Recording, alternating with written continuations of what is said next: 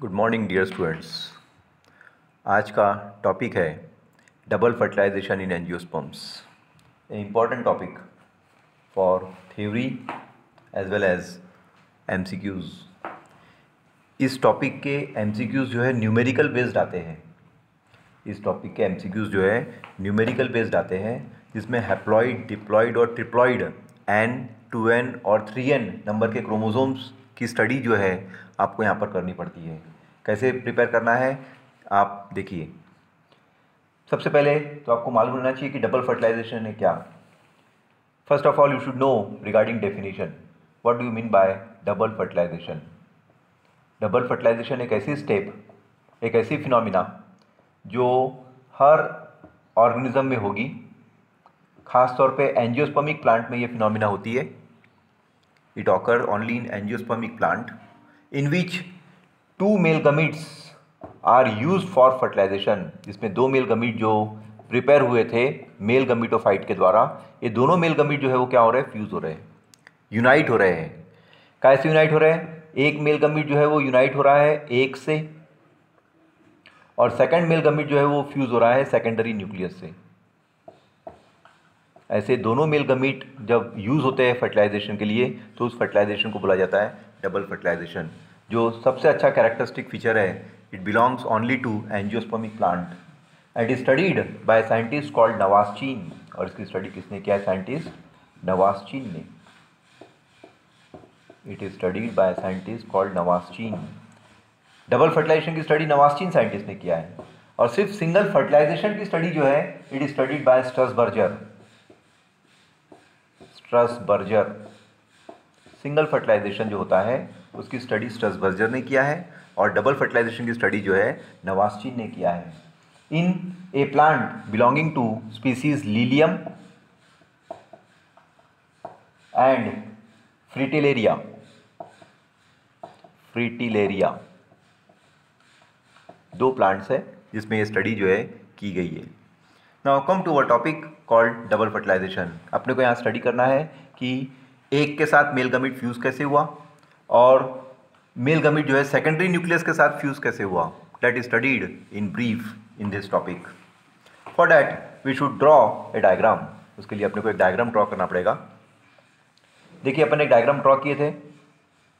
आपको याद होगा, ये पूरी फिनोमिना जो है कहाँ हो रही है? The complete phenomena occurs in female sex organ and you know very well that female sex organ is prepared by three major part gynoecium जो है कार्पेल जो है, तीन मेजर पार्ट से बनता है, जिसमें एक मेजर पार्ट को बोला जाता है।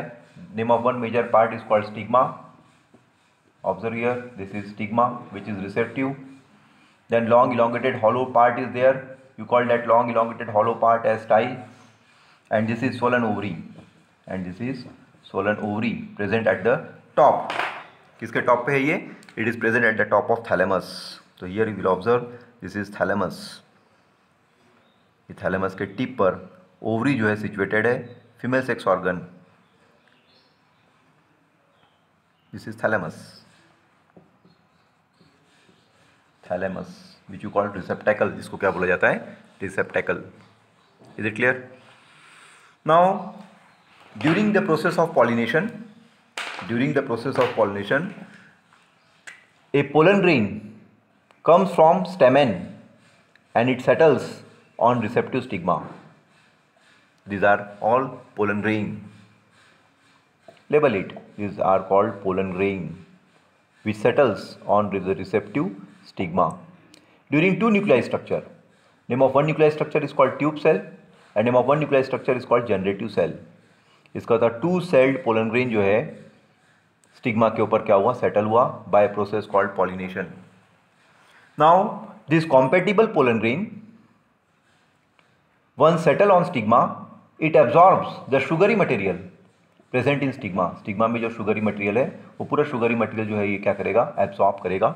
And once the absorption starts the pollen grain will swell and it starts developing a hollow pollen tube This pollen tube starts developing by penetrating the germ pore of pollen grain and from that germ pore, a long elongated tube will run.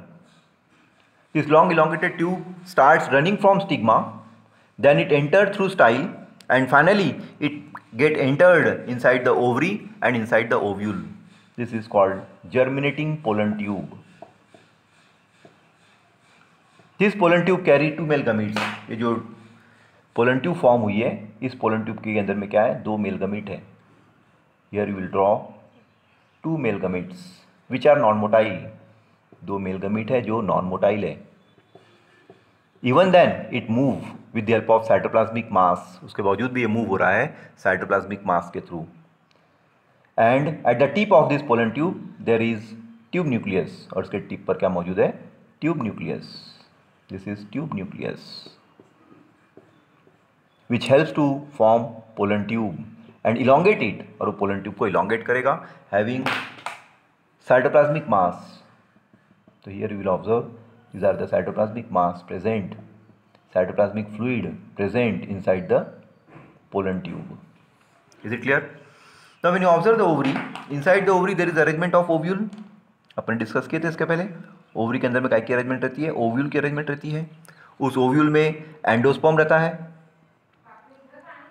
Female gametophyte है जिसको embryo sac बोला जाता है here will observe is it nucellus parenchymata cell से बना हुआ है। This parenchymata cells which you called nucellus is well covered and protected from all side that protective covering of this nucellus is called as integument total two integuments are there one is outer integument and one is inner integument which are protective and it protect the nucellus from all side in such a manner ये कैसे protect किया हुआ है? कि lower most part में small opening है small pore है. This small opening is called micropyle ये जो छोटा सा ओपनिंग है बेस पे, उसको क्या बोला जाता है? माइक्रोपाइलर एंड और जो ऊपर का कवर्ड एंड है पैक्ड एंड है, उस कवर्ड एंड को बोला जाता है chalazal end chalaza end in the middle of this ovule in the middle of this embryo sac is present inside the nucellus this is sac which carry eight nuclei structure जिसमें क्या है? Eight nuclei structure है। Out of eight nuclei structure three nuclei structure are present towards chalazal end three nuclei structure जो है chalazal end की तरफ़ है, जिसको अपने नाम दिए थे antipodal cell these are antipodal cell three nuclei structure are present at the micropylar end जिसमें एक है और दो सिनर्जिड सेल है and two nuclei structure are present in the middle जिसको सेकेंडरी न्यूक्लियस बोला गया था। तो here you want to label it antipodal cell antipodal cell in the middle label it secondary nucleus जो पोलर न्यूक्लियाई था पहले fuse हो गया, इसलिए secondary nucleus which is diploid and in the middle there is haploid cell which you called egg अभी जो pollen tube form हुई थी north this pollen tube starts elongating and it starts passing through the style then it enter inside ovary and once it enter inside the ovary it get a opening at the base और इसको opening कहाँ से मिल रही है? Base से। तो एक ऐसी प्रोसेस जिसमें पोलन ट्यूब एंटर कर रही है माइक्रोपैलर रीजन से। Here, a phenomena will occur in which pollen tube enters through micropyle. You call that process in which pollen tube enter through micropyle as porogamy. उस समय उस process को क्या बोला जाता है porogamy porogamy is a process in which pollen tube enters by penetrating the micropyle is described as porogamy. In some plants, the pollen tube may enter by penetrating the integument also. At that time, the phenomena is described as mesogamy उस समय phenomena को क्या बोला जाएगा? Mesogamy in some plants the pollen tube में enter by penetrating the chalaza chalaza land से भी pollen tube जो है एंटर करती है. At the time the phenomena is called as chalazogamy उस समय फिनोमिना को क्या बोला जाता है? चलेजोगैमी यहाँ पर आप देखें दो मेल गमिट जो है, वो नॉन मोटाइल थे. Here two male gametes they are non motile even then they move उसके बावजूद भी वो क्या हो रहे हैं? मूव हो रहे हैं।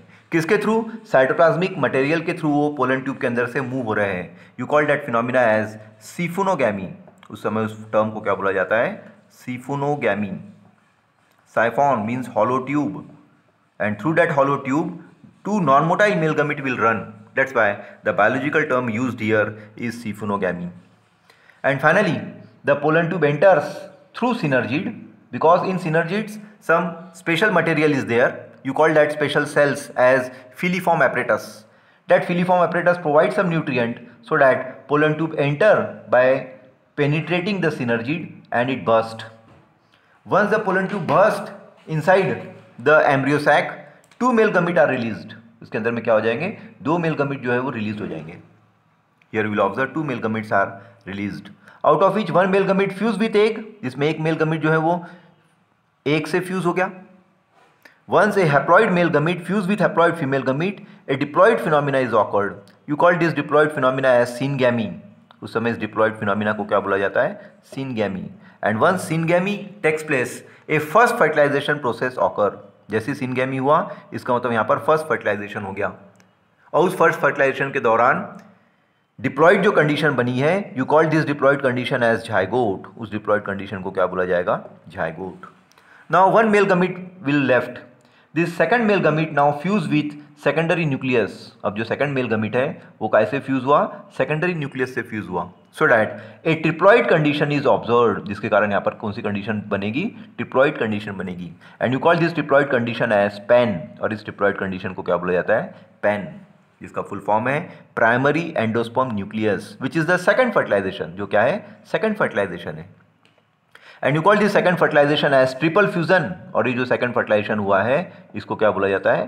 ट्रिपल फ्यूजन तो here you will observe two fertilization occur at two different place in which one male gamete fuse with एक to form diploid zygote and second male gamete fuse with secondary nucleus to form triploid primary endosperm nucleus so that at a time two fertilization at two different place takes place so that fertilization is described as a double fertilization which is the most important topic in this chapter